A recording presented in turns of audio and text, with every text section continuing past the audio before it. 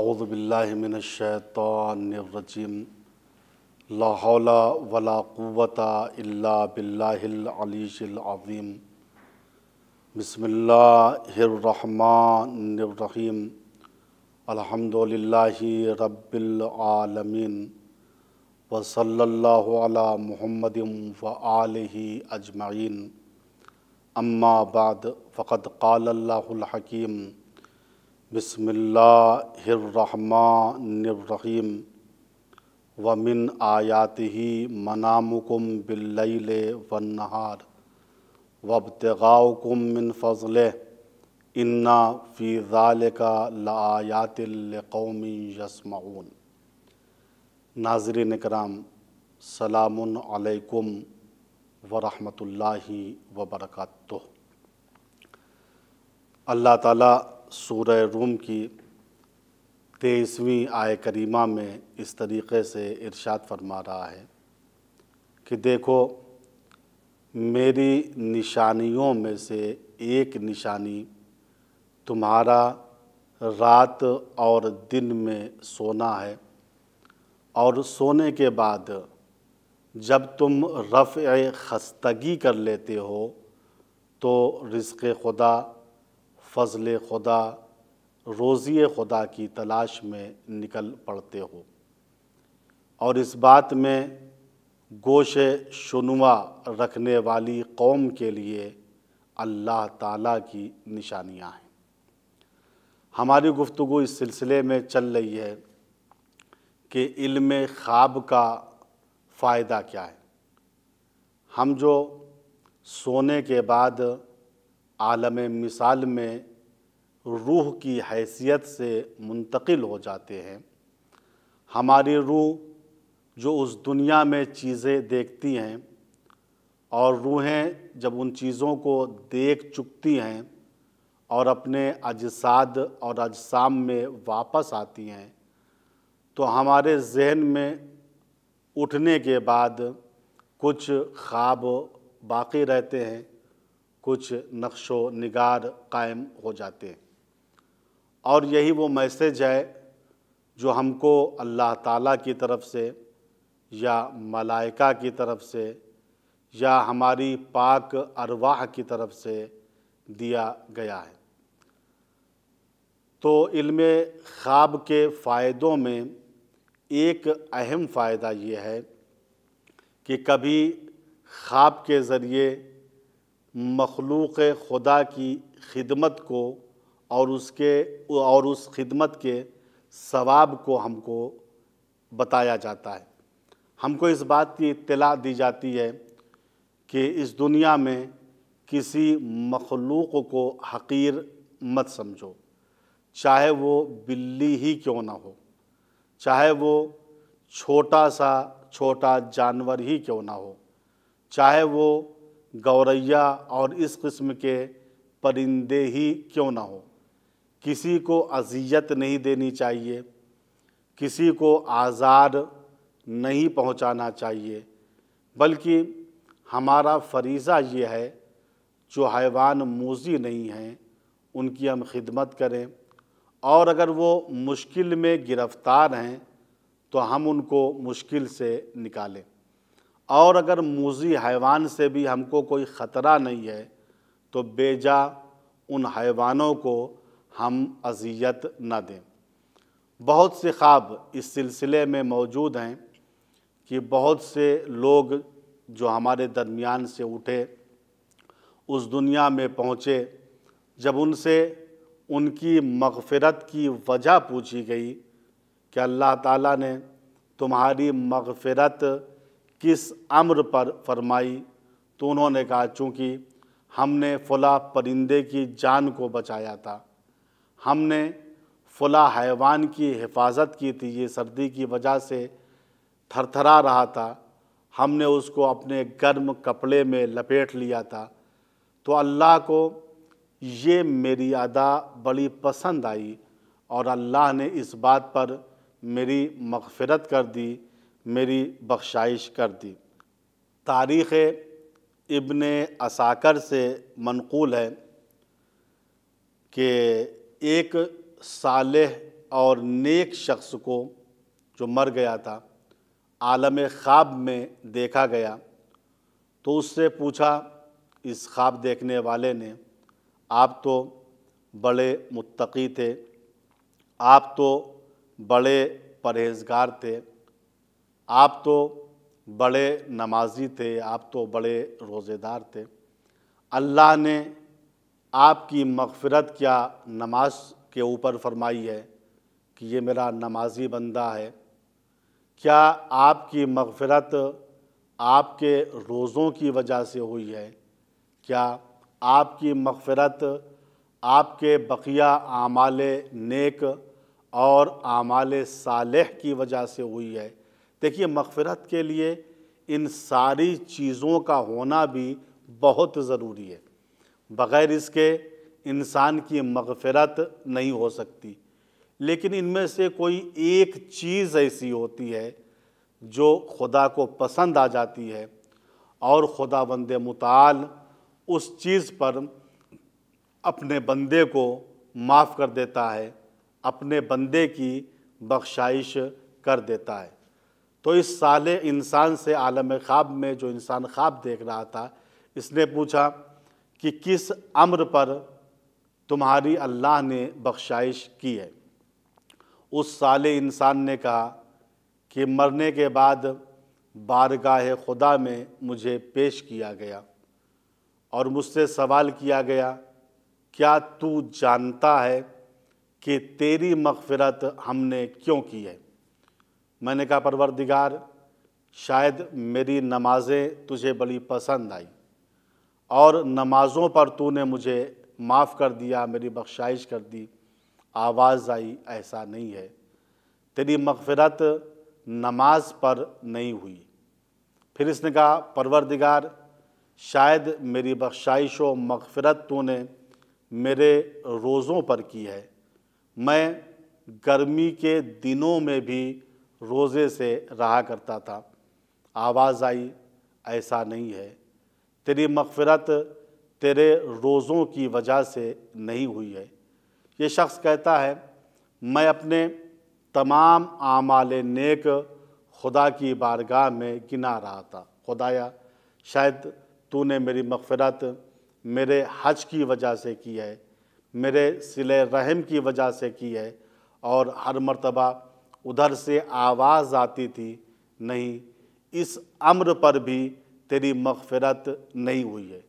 फिर मैंने कहा, मेरे परवरदिगार, तू ही बता कि तूने मुझे किस अमल पर माफ़ कर दिया और किस अमल पर तूने मेरी मगफ़रत फरमाई है? आवाज़ आई, क्या तुझे याद है? जब तू रात की तारीकी में बगदाद की एक गली से गुज़र रहा था। सर्दी बहुत ज़्यादा थी। तूने देखा, एक बिल्ली का छोटा सा बच्चा है और वो दीवार पर चढ़ने की कोशिश कर रहा है, लेकिन सर्दी की वजह से वो बिल्ली का बच्चा थरथरा रहा था, काँप रहा था, करीब था कि अपनी जान को दे देता। तुझे उस बिल्ली के बच्चे के ऊपर बड़ा तरस आया, बड़ा रहम आया। तूने उस बिल्ली के बच्चे को उठाया और उसको गर्म करने के लिए अपने गर्म कपड़े में लपेट लिया। जब बिल्ली के बच्चे की थरथराहट ख़त्म हो गई, तब तूने उसे अपने गर्म कपड़े से निकाला और उसको रिहा कर दिया। अब ये तारीख़ के जुमले हैं कि आवाज़ कुदरत आई, बेरहमत कल हिर्रा रहम तो का चूँकि तुझे उस बिल्ली के बच्चे के ऊपर तरस आया, रहम आया तो उस रहम की वजह से मुझे तेरे ऊपर रहम आ गया और हमने तेरी मगफ़रत कर दी, हमने तुझे माफ़ कर दिया। तो ये ख्वाब हम सब के लिए एक मैसेज है, कभी भी किसी हैवान को बेजा हम न सताएँ, बेजा परेशान न करें, बल्कि जहाँ तक हो सके हम उनकी हिफाजत करें, उन्हें ठंडक से बचाएँ। अगर गर्मी उनके लिए नुकसानदेह है तो उनको हम गर्मी से बचाएँ। लिहाजा किसी भी मखलूक खुदा को बेअर्जिश और बेवक़ात नहीं समझना चाहिए। बहुत सी रवायतों से ये बात ज़ाहिर है कि खुदा के नज़दीक वो शख्स सबसे बड़ा होता है, सबसे अजीम होता है, जिसके सीने में सबसे ज़्यादा रहमदार दिल खुदा की मखलूक़ात के बारे में होता है। रवायत कहती है, जनाब मूसा एक सहरा में बकरी चरा रहे थे। आप चूँकि एलान नबूवत से पहले जब मदाइन में थे तो उस वक्त बकरियाँ चराया करते थे। आप बकरियाँ चरा रहे थे तो आपने देखा कि एक बकरी का बच्चा गले से जुदा हुआ और जंगल की तरफ़ भागने लगा। जनाब मूसा को इस बात का खदशा हुआ अगर ये बकरी का बच्चा जंगल के अंदर चला जाएगा, मुझसे दूर हो जाएगा, गल्ले गोस्फन से दूर हो जाएगा तो इसे कोई भी भेड़िया फाड़ के खा लेगा। जनाब मूसा ने उसका ताक़ुब किया। बकरी के बच्चे ने देखा, मेरे पीछे मूसा आ रहे हैं तो उसने भागना शुरू किया। जनाब मूसा उसके पीछे भागे, वो और तेज़ भागा जनाब मूसा की रफ़्तार में और तेज़ी आई और वो भागता रहा यहाँ तक कि जनाब मूसा हाँफने लगे। आखिर में बकरी के बच्चे को पकड़ा, अपनी गोद में बिठाला, उसके सर पर दस्ते शफकत फेरा और उससे कहा, मैं तुझे इस वजह से नहीं दौड़ा रहा था कि मैं तुझे अजियत देता, मैं तुझे परेशान करता, बल्कि मैं ये जानता हूँ, अगर तू मुझसे दूर हो जाएगा, अगर तू गोस्फंदों के गले से दूर हो जाएगा तो भेड़िया तुझे फाड़ कर खा लेगा। अभी जनाब मूसा, उस बकरी के बच्चे के सर पर दस्ते शफकत फेर रहे थे। आवाज़ कुदरत आई। मूसा, तुम जानते हो कि मैंने इस ज़माने में तुमको नबूवत के लिए क्यों चुना है और तुम्हें शरफ़ तकल्लुम कोह तूर पर क्यों दिया है? जनाब मूसा ने कहा, परवरदिगार, मुझे नहीं मालूम कि तूने नबूवत के लिए इस ज़माने में मुझे क्यों चुना है और शरफ़ तकल्लुम मुझे कोह तूर पर क्यों दिया है? आवाज़ कुदरत आई, मूसा, मैंने इस ज़माने में तमाम लोगों के सीनों में देखा तो सबसे रहमदार दिल तुम्हारे सीने में मुझको नज़र आया। इस वजह से मैंने तुमको शरफ़ तकल्लुम कोहे तूर पर दिया है। तो इस किस्म के वाक़ात और इस किस्म के ख्वाब हम लोगों के लिए मैसेज हैं कि हम किसी भी मखलूक खुदा को हकीर, ज़लील व रसवा न समझें। बल्कि कोई भी मखलूक हो, चाहे वो हैवान की शक्ल में हो, चाहे इंसान की शक्ल में हो। और इंसान में बाज़ लोग जब खिदमत करते हैं या मदद करते हैं तो आदमी का दीन पूछने लगते हैं। आदमी का मज़हब पूछने लगते हैं, ऐसा नहीं है। बल्कि खिदमत खल्क़ आम है खिदमत खल्क़ सब के लिए है, चाहे वो दोस्त के लिए हो, चाहे दुश्मन के लिए हो। और यही हमारे नबी अकरम हज़रत मोहम्मद मुस्तफ़ा सल्लल्लाहु अलैहि वसल्लम की सीरत मुबारक थी कि आप सबके साथ, अखलाक के साथ पेश आते थे। दुश्मन भी आता था तो आप उसके लिए अपनी अबा को बिछा देते थे। दुश्मन लोग भी आपके अखलाक का एतराफ़ करते थे और जानते थे, इस कायनात में अगर सबसे रहमदार दिल, इस कायनात में अगर किसी के सीने में सबसे रहमदार दिल मौजूद है तो वो पैगंबर के सीने बेकीना में है। तो मेरे नाजरीन कराम इस बात को मद्देनज़र रखिए कि सब की खिदमत कीजिए सब की मदद कीजिए, लेकिन अगर कोई औलाद रसूल मिल जाए, वो रसूल जिसका हम कलमा पढ़ रहे हैं, वो रसूल जिसने हमको हिदायत का रास्ता दिखाया है, अगर उसकी औलाद की खिदमत हम करेंगे, उसकी हम मदद करेंगे तो इस सूरत में हमारा अजर व सवाब बहुत ज़्यादा हो जाएगा।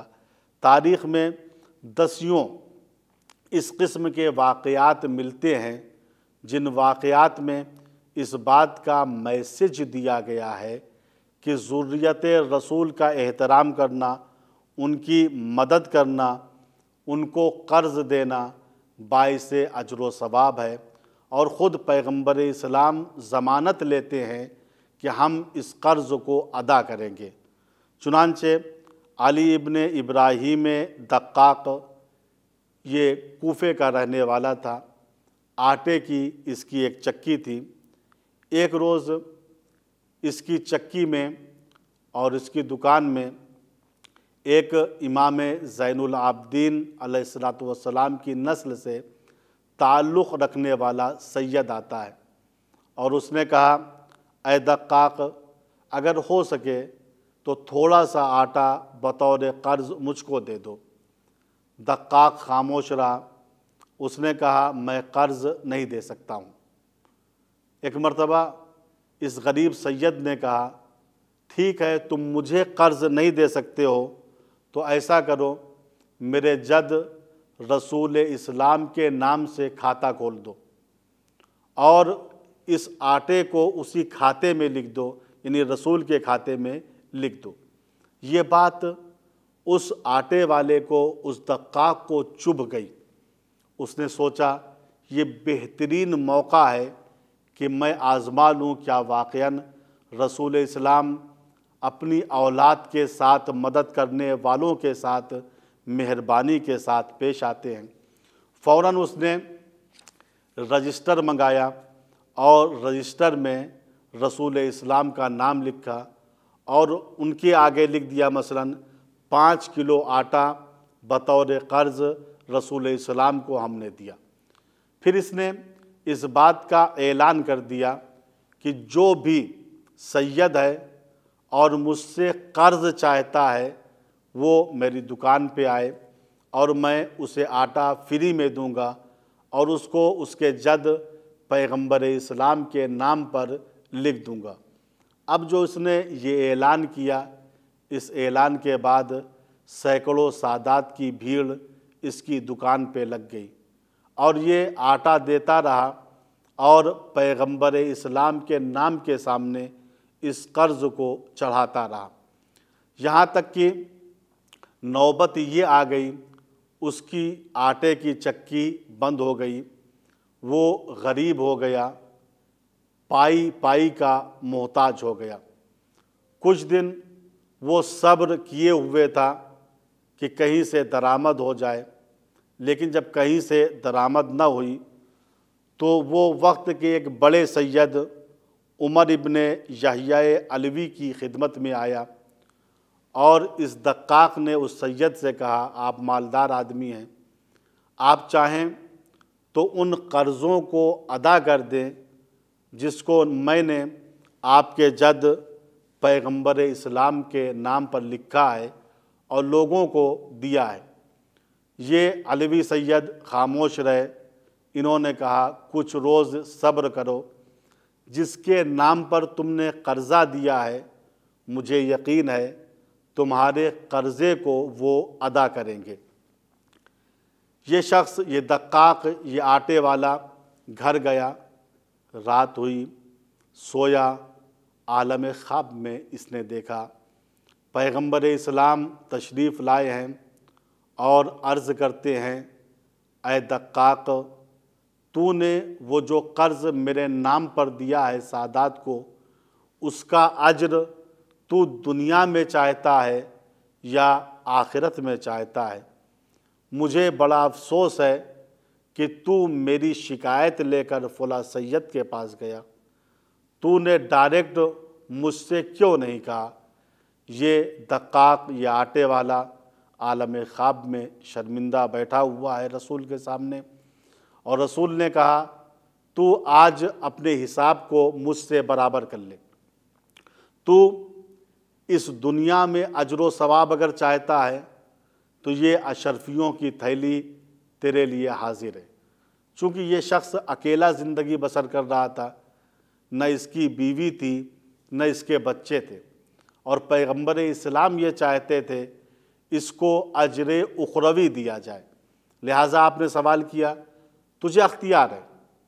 तू अगर दुनियावी अजर चाहता है इस कर्ज़ के बदले में, जो तूने मेरे नाम पर दिया है तो ये अशरफियों की थैली तेरे सामने लेकिन अगर तुझको मेरे ऊपर एतमाद है और तू आखिरत का अजर सवाब चाहता है तो जान ले कि हम उस ख़ानदान से ताल्लुक़ रखते हैं जो एक के बदले में दस देते हैं और दस के बदले में सौ देते हैं।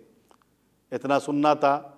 आलम ख्वाब ने, आलम ख्वाब में इस दक्काक ने हाथ को जोड़ के कहा या रसोल्ला मुझे अजर दुनियावी की ज़रूरत नहीं है। मेरा अब आखिरी वक्त है, मैं बूढ़ा हो गया हूँ, मुझे अजर उखरवी चाहिए। ये आलम ख्वाब में इसने रसूल इस्लाम से कहा, इतने में इसकी आँख खुल गई। ये गिरिया करने लगा, रोने लगा, तौबा करने लगा इस्तफ़ार करने लगा, ये मैंने क्या किया?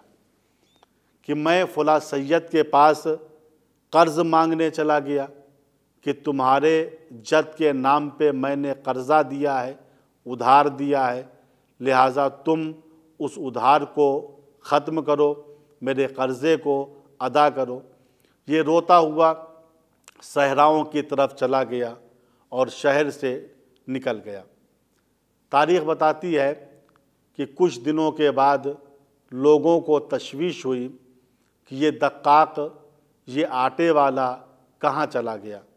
लोगों ने उसको तलाश करना शुरू किया तो उसकी लाश को पहाड़ के एक गार में पाया।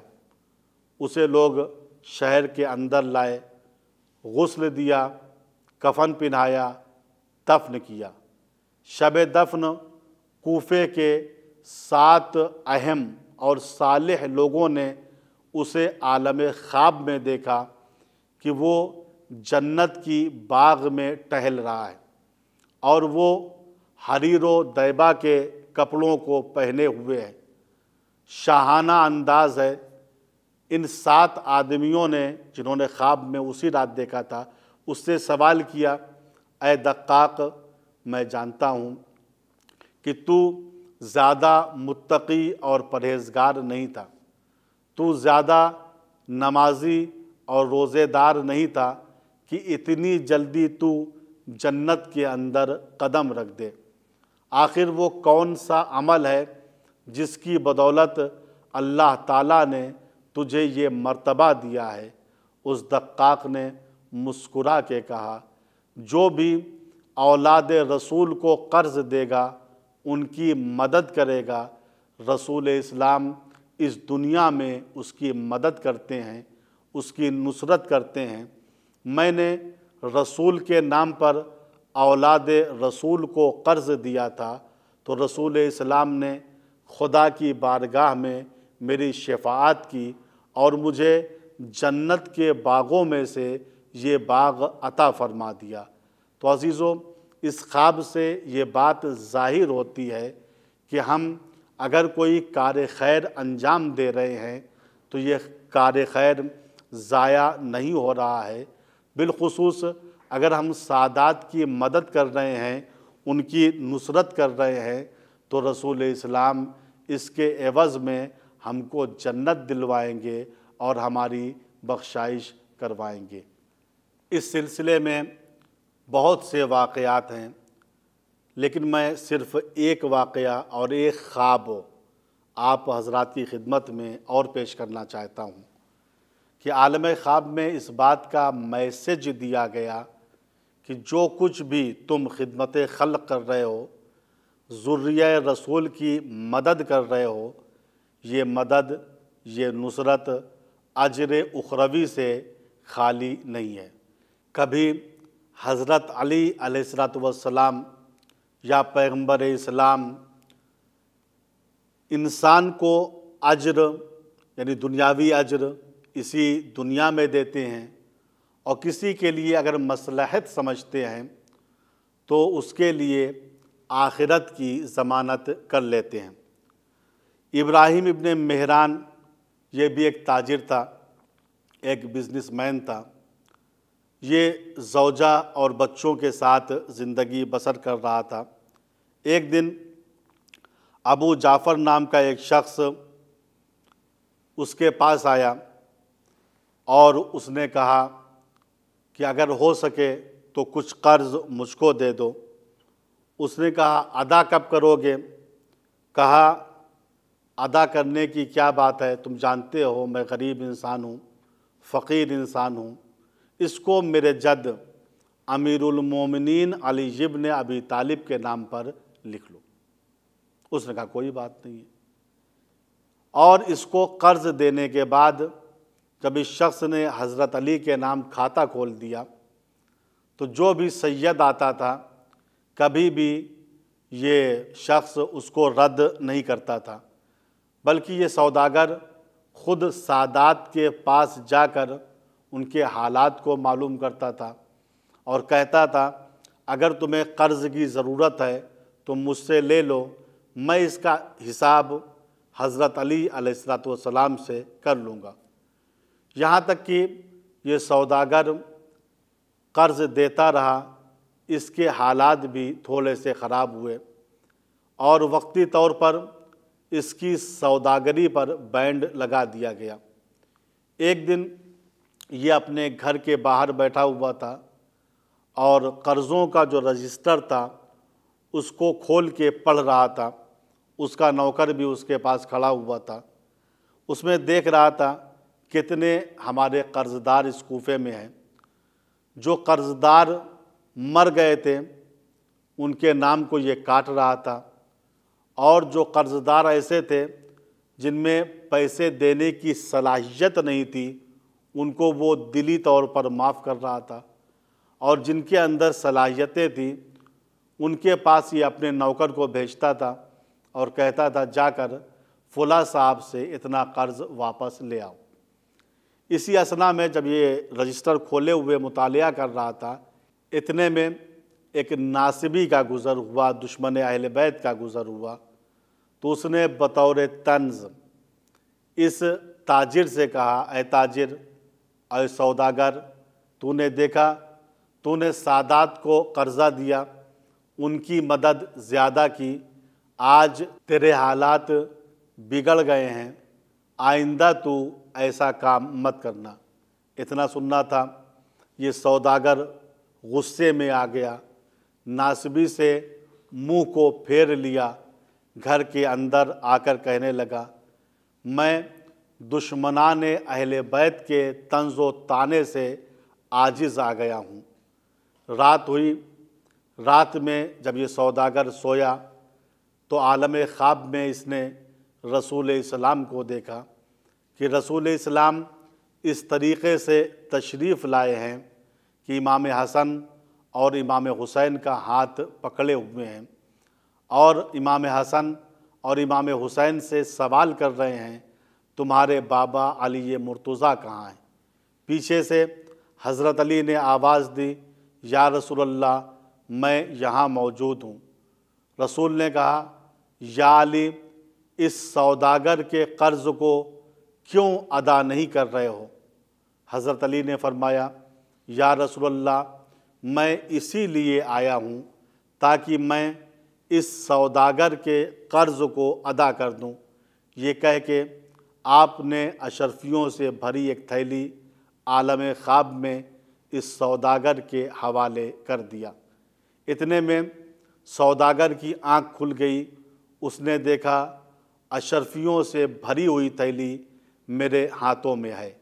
उसने अपनी जौजा को आवाज़ दी, तुम सो रही हो या जाग रही हो? उसने कहा, मैं जाग रही हूँ।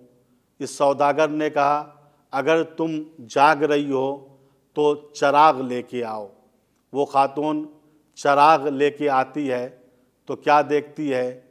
इस सौदागर के हाथों में अशरफियों की थैली है। जब अशरफियों की थैली को इस सौदागर ने खोला और गिना तो उसके अंदर एक हज़ार अशरफियाँ थी। एक हज़ार सोने के सिक्के थे। एक मरतबा जौजा ने घबरा के कहा अय सौदागर, कहीं तूने किसी और सौदागर के माल की चोरी तो नहीं कर ली है? उसने कसम खाकर कहा, ऐसा नहीं है, बल्कि अभी अभी मैंने आलम ख्वाब में रसूल इस्लाम, इमाम हसन, इमाम हुसैन और हज़रत अली को देखा। ये शख्सियतें, ये ज़वात मुक़दसा हमारे पास आई और अमीरुलमोमिन ने मुझे अशरफियों की थैली देकर ये कहा, ये तेरा वो कर्ज़ है जो तूने मेरे नाम पर मेरी औलादों को दिया है। और ये भी मुझसे उन्होंने कहा है कि आज के बाद से तू कभी फ़कीर नहीं होगा, मेरे नाजरीन कराम। आपने गौर किया कि ये ख्वाब हमारे लिए मैसेज है कि हम जो खिदमत खल्क अंजाम दे रहे हैं, हम जो ज़ुर्य रसूल की मदद व नुसरत कर रहे हैं, इसका अजर आलम आखिरत में, कभी दुनिया की शक्ल में, कभी आखिरत की शक्ल में आइम मासूमीन और रसूल इस्लाम हमको अता फ़रमाते हैं। अस्सलामु अलैकुम वरहमतुल्लाहि वबरकatuh